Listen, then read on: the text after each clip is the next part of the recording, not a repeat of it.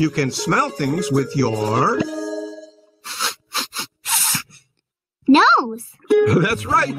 And you can taste things with your.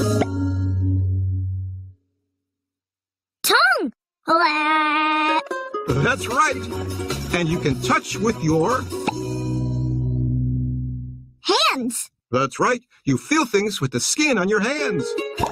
We use our senses to experience everything.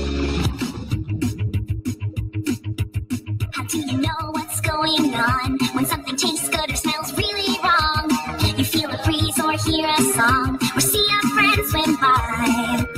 Your senses help you find your way, so it'll always be okay. Cause you've got five ways you can sense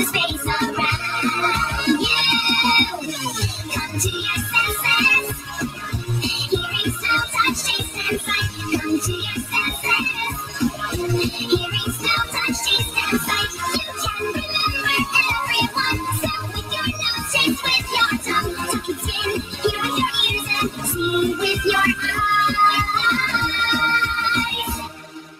So just because your glasses break, your nose is stuffed, or you just can't taste, your ears are clogged, or you feel misplaced, you can't find your way. Your senses help you know the score. So even if one's a little unsure, you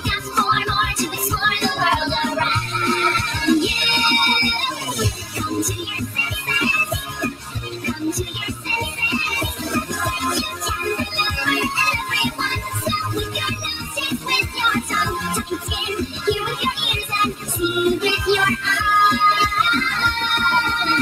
Come to listen.